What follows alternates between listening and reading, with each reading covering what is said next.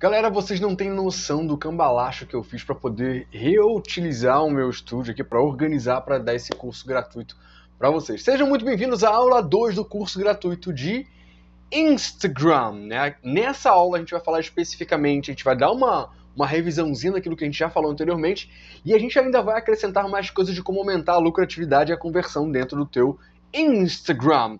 Mas para isso, é lógico, você tem que estar inscrito nesse canal, dar joinha no vídeo, porque para eu ter a certeza de que esse vídeo tá chegando para você, que você tá gostando. Senão eu vou parar esse, esse projeto, porque, tipo, se ninguém estiver gostando, se ninguém estiver curtindo, se ninguém estiver comentando, não tem como eu continuar esse projeto. Então, comenta aqui embaixo para eu saber a opinião de vocês. E mais do que isso, para os próximos vídeos, que a gente não vai parar de lançar conteúdo sobre o Instagram, os seus comentários, é óbvio, vão me ajudar muito a dar mais respostas e a caçar e fuçar mais informações para vocês terem mais crescimento no Instagram de vocês, tá bom? Vamos lá, só para fazer uma revisãozinha do que a gente já falou, do que a gente vai falar nesse vídeo aqui, tá?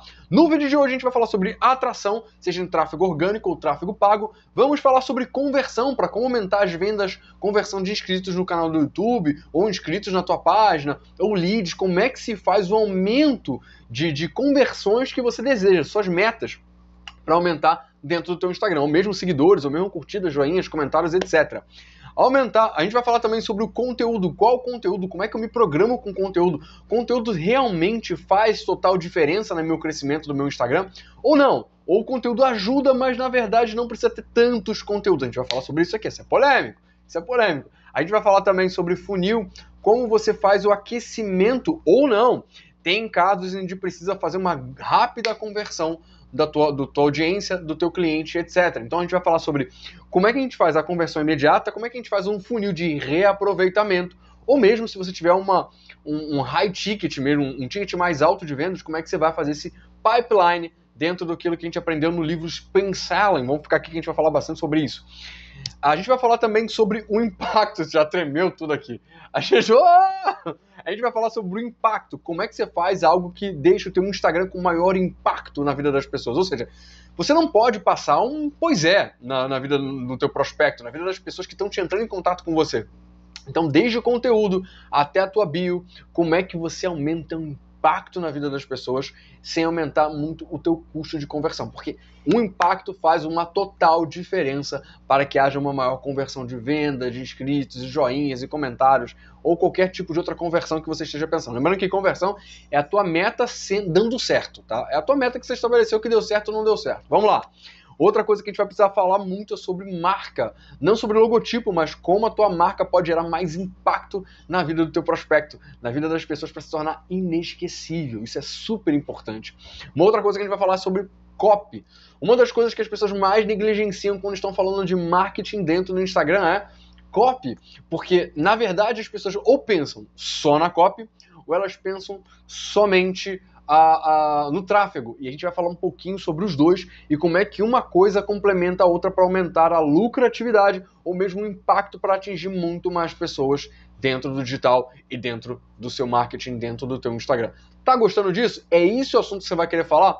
Comenta aqui embaixo a tua opinião sobre cada um desses pontos. Na verdade, eu deveria ter falado antes. Atração, conversão, conteúdo, funil, impacto, copy e branding. Fala o que você acha, o que você pensa sobre cada uma dessas coisas, porque depois eu vou ler os comentários. Então, antes de eu influenciar você, você já comenta qual a importância disso ou qual dessas coisas que você mais tem dificuldade, para eu saber para eu dar continuidade a uma série específica sobre cada um desses pontos. Então, comenta aqui embaixo sem a minha influência, faça perguntas, faça comentários, diga o que você acha que você é uma pessoa de opinião. Logo em seguida eu também vou comentar aí sobre isso que você falou. E vamos ver se a tua opinião no final casa com a minha opinião. Fechou? Fechou? Então tamo junto. Então vamos lá.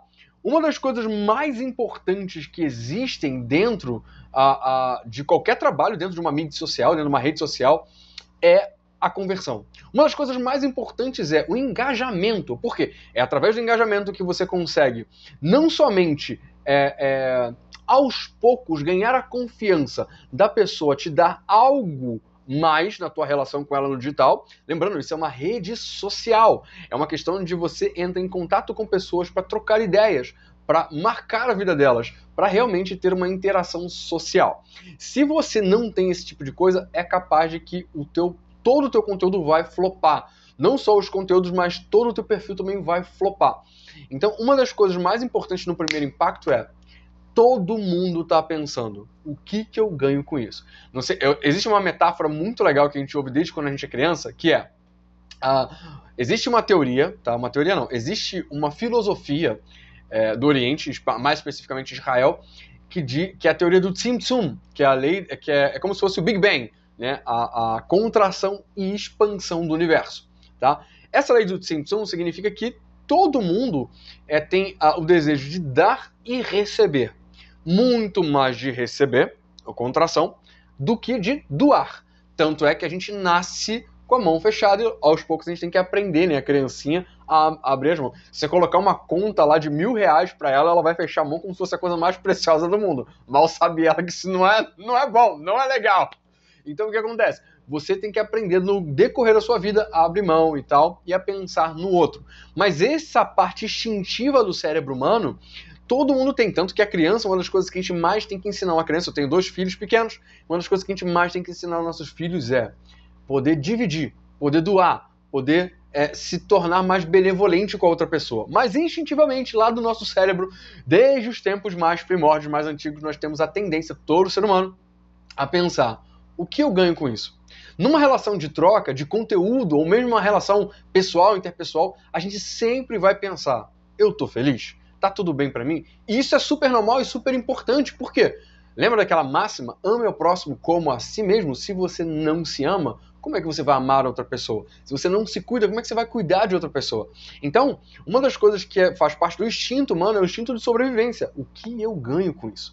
Então, o teu prospecto, a pessoa que vai entrar em contato com você da primeira vez, tudo, todo o teu primeiro impacto tem que pensar em seguinte: o que, que eu vou oferecer para a pessoa que ela vai se sentir ganhando mais do que eu. Uma relação de venda, de compra ou de conteúdo, você tem que a pessoa que é o cliente, ele tem que pensar, bem, é mais vantagem eu perder 200 reais ou eu ganhar isso. O valor da perda é igual, proporcional ou maior do que o ganho? Se a percepção de ganho, ou seja, eu estou ganhando mais por isso, é maior do que a sensação de perda, tu conquistou a pessoa. Se os três minutos do teu vídeo compensar o fato dela investir tempo em você, ela vai receber mais do que ela vai estar tá dando. Ou seja, se ela vai estar dando três minutos para você, de atenção, aqueles três minutos que ela vai estar tá dando para você, ela vai receber algo muito superior àquilo. Isso tem que ser o pensamento quando você estiver fazendo a dança com o teu prospecto a dança com o teu seguidor, a dança com a pessoa que está te seguindo, ou possivelmente vai te seguir, ou possivelmente vai comprar de você. Na cabeça delas tem que fazer vantagem. Por isso que a questão do bônus, a questão do gatilho mental da, da reciprocidade é tão importante, porque você tem que dar na cabeça da pessoa a ideia de que você vai ganhar algo mais do que você está me dando. Ganhar vantagem. Então, isso diminui aquele processo de desconfiança daquilo que ela vai te entregar. Ela não vai ter o sentimento de perda. E instintivamente, todos nós, seres humanos, temos um medo de perder. A gente tem mais medo do per do, de perder do que o desejo de ganhar. Então, assim, a maioria das perdas doem muito mais do que a felicidade do ganho. Então, se a gente for medir a felicidade do ganho para a, a, a intensidade da, da, da a intensidade da felicidade do ganho e for medir com a intensidade da dor da perda, a, a intensidade da dor da perda vai ser sempre maior. É explicado pela ciência. Então é muito. Você aproveita ganhar um milhão de reais, mas você sofre muito mais por perder um milhão de reais. Pensa só comigo. Ah, é, ganhar 100 reais é legal, é gostoso? É. É bom, é legal, eu curto. Agora, perder 100 reais dói um pouquinho? Ou dói mais proporcionalmente energia disso do que você ganhar os 100 reais. Então é justamente disso que a gente está falando. Então, para minimizar o medo da perda das pessoas, você tem que jogar um desejo lá em cima e tem que minimizar a dor da perda, dando uh, garantias, dando o gatilho mental de, da, da, da é, prova social, mais pessoas viram aquilo ali, mais pessoas aderiram àquilo, mais pessoas sofreram o impacto daquilo, pessoas já testaram, já quebraram a cara, já quebraram a cara, já erraram. Então agora a probabilidade da falha é muito menor. Tá aí por conta desse tantos desses gatilhos que fazem, na verdade, basicamente a mesma coisa. Diminuir a dor da perda, diminuir a possibilidade de que aquilo ali seja uma desvantagem de perda na mente da pessoa. Entendeu? Então, beleza. Já falamos aí, você já entendeu o conceito disso. Agora vamos entender um pouquinho como é que funciona o processo de atração. Quando você faz uma atração do teu cliente, uma atração dele, tem em todo momento você tem que pensar o que, que essa pessoa vai olhar dentro do meu perfil, dentro desse post, que vai ser mais vantagem para ele ou para ela que vai receber do que aquilo que ele vai me dar ou daquilo que ela vai me dar. Tempo, é, o clique, o cadastro, o e-mail. O e-mail, gente, o WhatsApp é algo muito importante para todo mundo. Olha os riscos que estão envolvidos no fato da pessoa te dar um e-mail ou no fato da pessoa te dar um WhatsApp. Quantos golpes não tem na internet? Então, a, a tua isca digital, que a gente chama, que é aquilo que você dá que tem extremo valor para a pessoa, parece que tem que ter extremo valor, e que a pessoa ou ela vai pagar abaixo do mercado, do que o mercado valoriza aquilo ali, ou ela vai ter, ou ela vai ganhar de graça, e de, ainda mais algo que a pessoa pagaria. Então, só, só para te dar um exemplo, esse curso que a gente está dando agora para vocês é uma isca digital. Não significa que eu vou vender porque a minha estratégia é outra, a minha estratégia não é vender, até porque lá no meu site tem uma indicação de um curso de um curso gratuito não, de um curso que a gente indica lá, curso de gente que faz venda de curso digital de, de Instagram, por, Instagram, por exemplo. Então, assim, eu não preciso vender, eu até indico, tá? Mas eu não preciso vender um curso de Instagram. Então, por isso que a minha estratégia não é, é, é dar algo de graça para eu poder vender. O meu plano de estratégia é diferente. Um dia a gente pode falar sobre o plano de estratégia do meu canal no YouTube. Então, assim, eu tenho uma meta pessoal de ter o maior canal de comunicação do Brasil. Eu tenho, eu tenho, tá? Comunicação e negócios. Mas uh, é uma outra história, é um outro tipo de movimento. Então, por isso, eu, para eu realizar o meu sonho, que é o meu desejo, eu tenho que dar algo que seja muito bom para o meu prospecto, para a pessoa que vai fazer parte desse sonho junto comigo. Então, o que, que eu faço? O que, que eu dou para as pessoas? Um curso gratuito, mas não uma iscazinha digital que a pessoa vai falar, pô, caraca, perdi meu tempo à toa. Não é isso. Eu dou algo muito bom, algo de extremo valor que eu acredito que vai fazer extremo valor, de graça, e ainda mais, eu diminuo ainda os riscos da pessoa a se cadastrar, porque eu não ofereço o cadastro. Eu digo o seguinte: você vai me seguir no YouTube, você vai se inscrever no meu canal no YouTube, vai, vai assinar, vai a, a, ativar as notificações. Por quê? E aí, vou dar um exemplo do que eu fiz, tá? Para o mês de dezembro, se a gente batesse a meta dos mil inscritos até dia 31 de dezembro, aí é um exemplo prático para vocês. Você pode até anotar e ver o que, que dá para adaptar dentro da tua meta, tá? O que, que eu fiz? Eu falei, Vou oferecer um curso gratuito em janeiro. Se a gente bater a meta de, até dia 31 de dezembro de 2021, a gente vai dar um curso gratuito. Mas, se é, não, quando, desculpa. O que, que eu fiz? Vou oferecer um curso gratuito em janeiro para quem estiver inscrito no meu canal. Beleza. A pessoa vai me dar a inscrição e eu vou dar um curso gratuito para ela. Já é algo bacana. Só que eu falei que se a gente batesse até dia 31 de, de dezembro, a gente ia dar também uma mentoria com senha, com site para a pessoa entrar tudo bonitinho e uma mentoria tete a tete com quem com, com quem se inscrevesse no canal, marcasse e depois fosse lá no Instagram da Ben Love e marcasse lá a Ben Love, que se inscreveu e bateu essa fotinha e tal, marcasse bonitinho. Beleza. Até dia 31 a gente não bateu a meta para mentoria, mas a gente bateu, se eu não me engano, dia, sei lá, 3 ou 4 de janeiro a meta, então liberamos só o curso. Então, assim, quando o risco é alto, eu dou uma, uma benesse. E é o seguinte, a pessoa não precisa se arriscar de me dar o WhatsApp, não precisa se arriscar de me dar o e-mail, e ainda ela tem a escolha, o poder de, se eu quiser eu assisto, se eu não quiser eu não assisto. Então, a escolha ainda está nela. Então, diminuir o risco também. Já que a taxa, depois a gente vai falar sobre e-mail, tá? depois a gente vai falar sobre a entregabilidade de e-mail, talvez num outro vídeo, se e-mail marketing funciona, entregabilidade de e-mail marketing, isso é um outro papo para um outro momento. Mas a minha escolha é, eu não vou fazer cadastro. Eu vou direcionar todas as pessoas, minimizando totalmente o risco dela de botar o e-mail, alguém que não tem tanto, tanto, tantos seguidores assim, então não tem tanto lastro e tal. Então eu minimizei o risco dessa pessoa. Para mim, super funciona dentro da minha estratégia. E aí o que acontece? No mês de janeiro, eu fiz uma outra meta. Se a gente bater 1.500 inscritos até dia 31 de janeiro, tá pertíssimo, tá pertíssimo. A gente vai fazer a mesma coisa, vai, vai fazer um. De qualquer jeito, batendo os 1.500, a gente vai liberar um curso gratuito sobre YouTube, negócios e monetização. Cinco pontos, cinco maneiras de monetizar através do YouTube, inclusive para atrair mais conversão para o Instagram, Instagram e vice-versa. Porém, tá? Ah, esse curso é, vai ganhar também uma mentoria, se, da mesma forma. Quem se inscrever no canal, tá?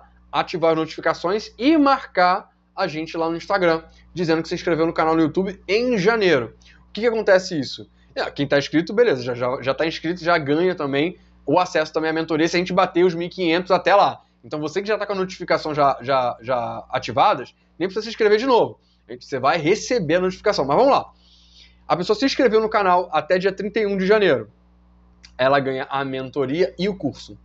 Quando bater, se não bater até 31 de janeiro, quando bater, a gente libera o curso. Então, assim, eu estou oferecendo para as pessoas, para elas estarem dentro do meu canal, dentro da minha rede social. Eu posso fazer, inclusive, essa meta para dentro do Instagram, por exemplo.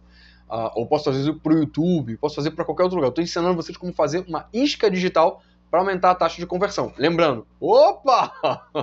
Lembrando que a ideia é, gente, é, mambembe aqui. Só falar para vocês o que, que deu errado, tá? Esse daqui era o tripé que eu ia usar hoje, tá? Só que ele não tá escorregando. Já tentei gravar umas três, quatro vezes, não rola, não rola. Então eu tive que aproveitar o da o do o tripé acoplado na minha lâmpada aqui, por isso que tá com reflexo aqui, infelizmente não tive, tá até melhora, né, porque eu botei de um ângulo que não pegasse aqui no olho. Mas enfim, vamos que vamos que o show não pode parar. então o que acontece? A ideia aqui é você entender com, quais são as possibilidades de isca. Tiago, o livro, o, o e-book funciona ainda? Não, não funciona tão, tanto. Porque o que acontece? Quando a pessoa faz um e-book, ela faz um e-book. Normalmente o e-book ele tem um nível de preparação diferente de um livro e-book que não é isca. O livro que não é book, que, não, que é isca, é muito mais bem feito. Ele foi preparado para ser vendido. Então, assim, ele tem uma qualidade muito maior. Então, se você quer usar a estratégia do e-book, dá o e-book sem cadastro. Bota no e-book CTAs dentro do, do e-book para que a pessoa possa te achar e que ela possa ter, ela possa se cadastrar depois, ela se interessando no e-book. Então você não condiciona dar o e-book a pessoa se cadastrar. Ao contrário, se a pessoa gostar do teu e-book, aí você tem que ter um e-book muito bom. Pra pessoa, caraca, que, e-book maravilhoso, é muito bom. Aí ela tem lá o contato, lá o CTA dentro do e-book, para convidar a pessoa para se cadastrar para receber um conteúdo melhor. Então assim, você você está muito mais propenso a trabalhar o seu conteúdo para aumentar o nível de conversão e a qualidade daquilo que você entrega. Então sempre pensa na maior vantagem para o teu prospecto, para o teu seguidor, para o teu lead. Então dá muita vantagem. Se tem que dar um e-book, dá um e-book muito bom. Um e-book muito bom. Ah, um e-book que, ah, que alguém pagaria por ele, mas alguém já pagou por ele? Você já fez teste disso? Não. Nem minha avó, nem, nem pagando ela, ela leria. Então não vale a pena. Por exemplo, eu tenho um vídeo, não, tenho um livro chamado Design da Criatividade Objetiva eu mergulhei nesse vídeo para criar um processo para que você sempre tivesse ideias. Esse livro eu não boto cadastro. A pessoa vai ler, se ela achar vantagem, ela começa a me seguir. Ou não. Entendeu? Então, assim, eu criei um livro que eu esmerei a minha alma no livro. Foi muito bom o livro. Então, assim, eu gostei muito de escrever aquele livro. Foi um momento mais inspirador da minha vida, onde eu estava trabalhando direto naquele livro, onde eu estava trabalhando direto nas minhas coisas. E assim, foi um impacto muito poderoso na minha vida aquele livro. Então, quando eu entrego o livro lá no site, é um livro totalmente gratuito que a pessoa baixa e ela não precisa se cadastrar. Então, a minha estratégia está sempre na qualidade que supera a estratégia de jeitinho. Esse negócio de você dar, ah, não, o livro não sei se é, o livro você vai saber se é bom se você me der o teu e-mail. Você se cadastrar, se você está dando o teu risco do teu e-mail para ganhar spam, você está arriscando o teu WhatsApp para poder me dar para eu poder usar os teus dados, mas eu não tenho risco nenhum, porque você não sabe se o livro é bom ou não. Então o risco é todo seu. Quando você libera e você se arrisca a pessoa simplesmente não querer fazer contato com você, você está na desvantagem e a pessoa do outro lado está na vantagem. Aí você tem maior taxa de conversão.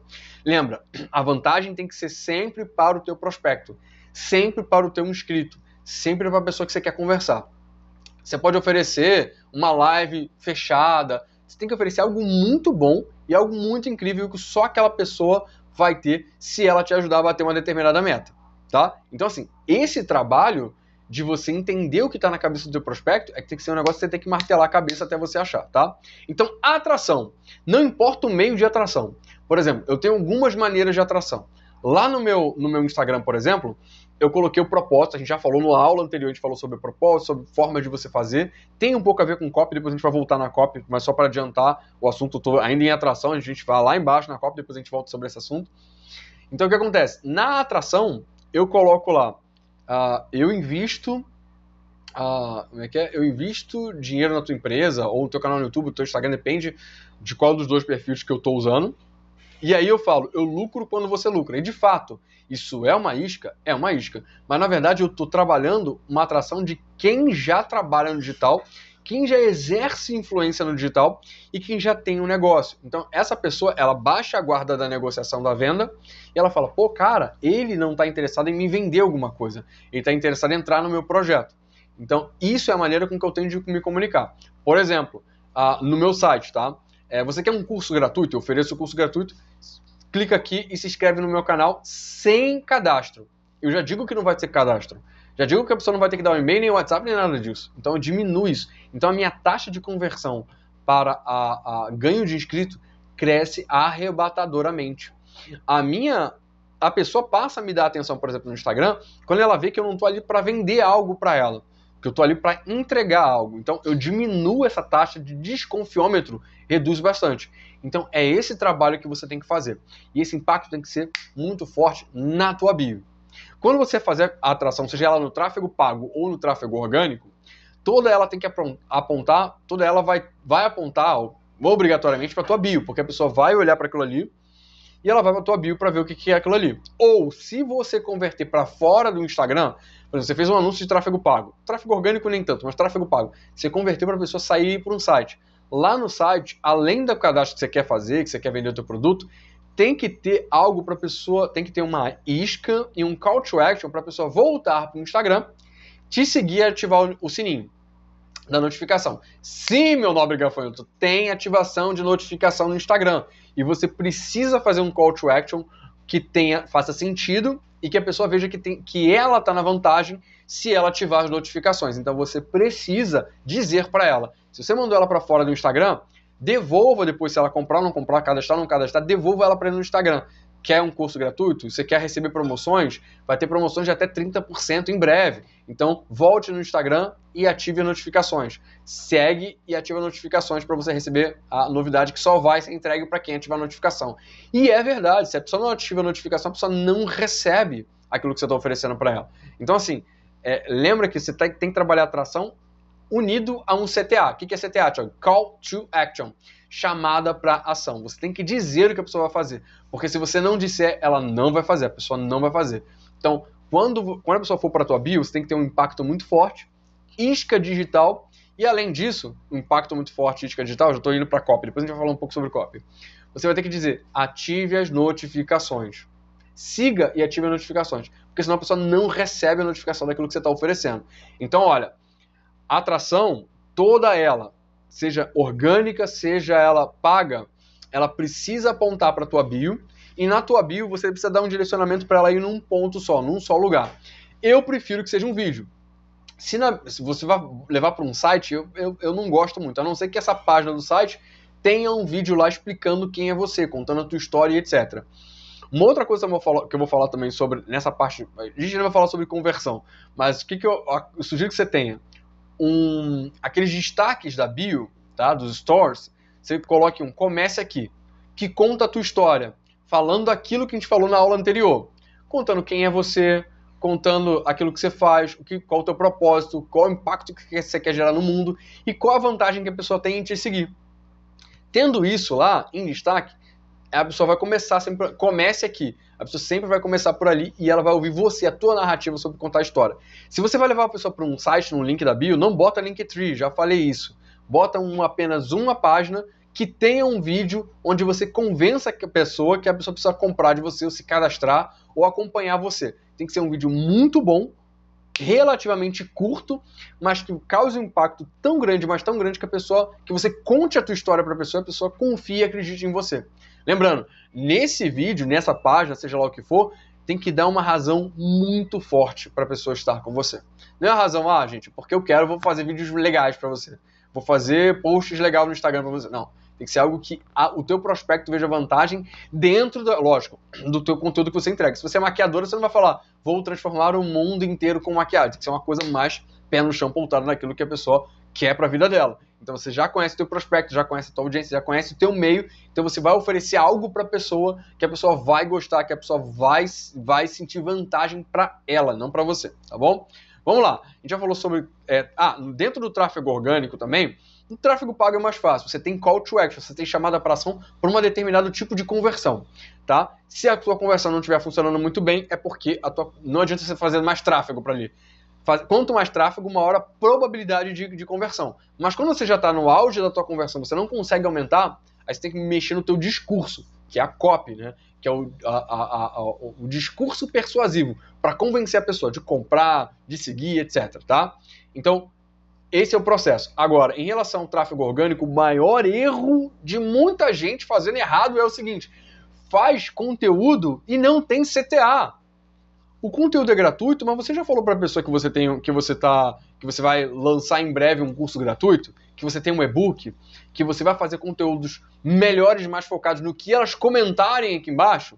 Então, por exemplo, eu estou falando aqui para vocês. É um conteúdo gratuito, é um conteúdo gratuito, mas eu estou sempre falando para vocês aqui. Gente, não se esquece, comenta aqui embaixo. Você está gostando?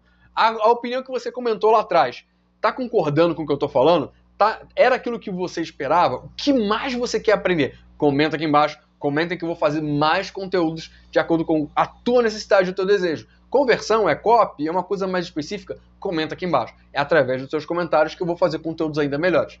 Isso que eu acabei de fazer é um CTA que faz sentido. Eu falo de algo que a pessoa vai ganhar vantagem. Não é para você. Ah, comenta aqui porque eu sou legal com vocês. Comenta aqui o que vocês estão achando. O que vocês estão achando e até aí morreu Neves, né? Como, como meu avô fala. Então o que acontece? Você tem que dar uma razão muito forte para a pessoa comentar. Se você quer que ela comente, que ela comente para algo que ajude ela e não ajude você. Só beber uma água aqui. Tô falando há um tempão. ó, ó. Gente, tô cansando minhas cordas vocais por você. Um comentário, um joinha, um like, se inscrever com ativação de sininho, pô, me ajuda pra caramba, né? Pra valer a pena ficar rico por causa de vocês, ó, lógico, né? Então vamos lá. Ah, aí o que acontece? O seu CTA não pode ser se inscreve no canal, dá joinha no vídeo. Ou então, tipo, não pode ser, tipo, você faz um story no Instagram de, só de 15 segundos. Se vai fazer um story de 15 segundos, existe você colocar imagem nos stories, aqueles gifzinhos, imagens, você botar curtida, joinha, comenta e você coloca nos stories. Se for 15 segundos, você coloca aquilo ali. Por quê? Porque se ficar na frente, ou mesmo se você for pedir pro teu editor, ó, coloca aqui uma chamada aqui, ó, com som de preferência, porque a chamada com som chama mais atenção. Então o que acontece? Se o vídeo é muito curto para você falar o call to action, pelo menos coloca ali uma imagenzinha com uma animação, que aí o próprio, o próprios stories, o próprio Reels, ele te dá essa opção de você fazer isso. Então não tem desculpa. Agora, você também pode também fazer um Reels de 30 segundos. Para quê? Porque 15 segundos você conta a tua história, mais 5 segundos você pede a opinião das pessoas e o restante é só CTA.